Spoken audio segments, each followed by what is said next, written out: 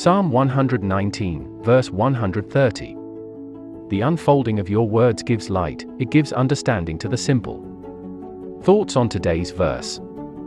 The right path is not always difficult to find, we simply need to know where to start our search the reading of God's words. The right path is rarely the exclusive domain of the bright, wise, and scholarly, it can be found by any of us if we choose to look for it. My prayer. Thank you, Holy Father, for making your will known through your words in Scripture. Bless me as I read from your word.